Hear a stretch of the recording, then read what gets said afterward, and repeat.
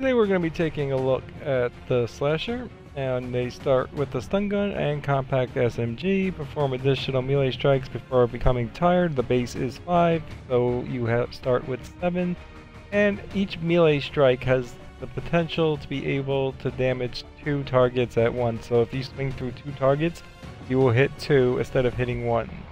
Your push radius for melee attacks is increased by 50%. So if you're like just missing or you're not getting the kill, you can push them back a little bit. This is actually really good with the slasher when you're going in. So if you're not getting the kill, being able to push them back a little bit and then going to the next target and then go back to them without them being right on your toes and getting closer to hitting you is actually really good. I tried this one for the longest, which is mo movement speed penalty when zombies are very close to you is reduced by 100%. But generally, once you get to the end of the game, it might be a little bit better in the beginning. But once I got to the end, I tried the push, and with 10 melee strikes, I was able to slash through all the zombies I need to, to get the cloak. And at that point, it really didn't matter about movement speed because I'm invisible. So you just gotta see, I mean, if you're in the beginning of the slasher, just test it out and see if you are getting slowed time and time again. If you're getting slowed multiple times in a game, even like two, I'd probably say put this on. If not, you want this.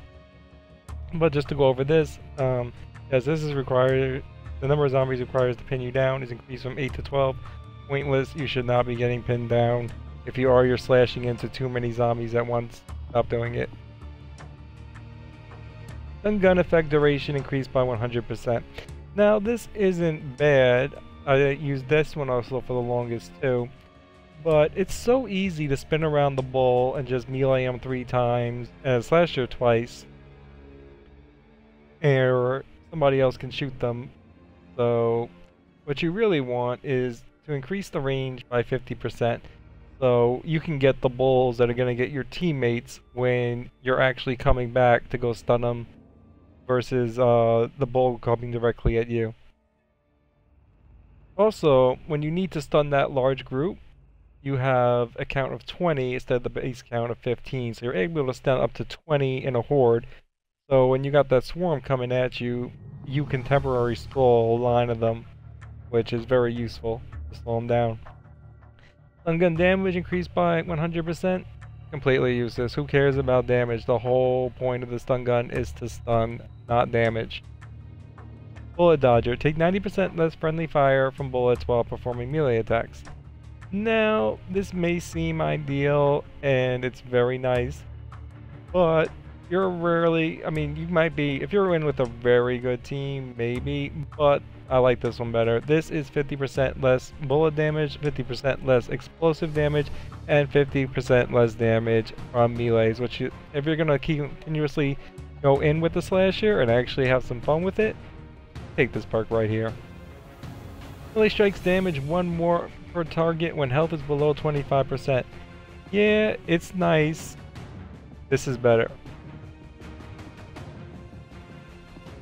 Unless you actually can just, you're never getting hit when you go in with melees. Then maybe you want to go for this. I occasionally get hit, so I like that. You and all your teammates can perform more melee strikes plus 2 before coming tired. Reads works just as it reads. Everybody now can perform 7 instead of 5. Trophy Hunter. Deal 25% more damage to special zombies? Maybe. I mean, it's not a terrible perk, but like, if you're like me and you're gonna be going in when you're the slasher class and having some fun with it, and you're getting like at least three to five, ten uh, melee kills back to back in rapid succession, then yeah, go for the health. Take take the increased health because you're gonna be on the front lines. You'll be gonna be catching bullet damage, or occasionally kind of be catching explosive damage from people who don't know how to aim and throw grenades, or you don't know the grenade's being thrown and you're already slashing into it. Take the extra health for this class only class I put it on, but yeah, for this class, I, I like the he extra health. Uh, SMG, I don't care for, because I drop whatever gun it is, and then I pick up an assault rifle, right, semi-automatic rifle, or shotgun. So I don't really care what my starting gun is. You really shouldn't care as a slasher anyway. because the starting gun is fine, just level that up to 5, get the one of the two. And when you need to for the beginning until you pick up a better gun, you got the ability to do multiple melee strikes, so let them shoot and go in when there's a bunch of them grouped up that you can take out in a row. Killing 10 zombies in rapid succession with a melee weapon grants temporary health boost. Now this is interesting. This gives you like, um, I want to say it was 7, 70-ish percent um, temporary boost when you kill 10 zombies in rapid succession, which is good. And I would highly recommend taking this if you're not playing with a medic. But if you're playing with a medic that knows what they're doing, then you want Cloak and Dagger. This allows you to kill 10 enemies in rapid succession with a melee weapon and then become invisible. Once you become invisible, it's a good solid 5 seconds that you get the masking effect, which allows you to easily take out a couple more zombies with melees and fall back, reload your weapon, or you can just go in if you needed, pick somebody up and reload, and while you're doing all that, you are increasing your ability to go in and strike again. So this, uh, I feel this is the one, unless you're not playing with the medic. Killing 10 zombies with melee attacks in rapid succession instantly reloads your primary weapon. Um, you always have the ability to slash. Uh, so you could just fall back a little bit and then you can slash again. Your teammates should have one person with you in most occasions, so definitely not as good as Cloak and Dagger. You will not become fatigued when melee attacking zombies electrifies by the stun gun. Um, really don't really need to shoot the when melee. You shouldn't really be stunning multiple groups and going in and slashing them. Stun gun is really just uh, take the crowd off you, and if that's the case, you're gonna be slashing like a, handful. You're not gonna be slashing to the point where you're getting fatigued, so pointless. Might as well get the assault shotgun with 25% extra damage and 25% extra ammo, and then look for that, because you're going on the front lines anyway, so when it gets really hairy, you can pull that out and take out a bull or two, or take out a good portion of a swarm. Battle Cry, automatically stand up from being pinned after 5 seconds. Now if you're playing on easy and normal and you want to do the Battle Cry and rooted and just go straight in on swarms, could be fun. Uh, other than that, you would be taking these two. So, this is uh, perform one melee strike more before becoming tired. Melee damage increased by 50%. Now we want this. Perform one melee strike before becoming tired. Melee damage increased by 50%. So these two combined doubles your melee. Very easy to slice through crowds. That's what you want if you're going to be having fun with this class. Killing 15 zombies in rapid succession allows you to hit one more target for melee for 10 seconds. Uh, at the end, you're already hitting three targets per swing, the ability to two targets per swing. You will almost rarely ever have the chance to be swinging at four targets per second unless you're running this combo and playing on easy and normal. In that case, probably want to go with that one and actually the health and just go straight in on them. That could be fun. Uh, killing special zombies with a melee weapon will increase firearm damage by 50% for 10 seconds. It's still not as good as one more melee strike. I mean, it's really not bad, but you don't really too uh, you're going to be shooting more of the hazmat suits probably than you're meleeing them. I mean, you, I melee a bunch of them and then I'll just back off. You don't really melee the lurker. And you don't really melee the screamers. So, my opinion, much better. Max capacity for stun, gun, for stun gun charges increased to 4. It is nice.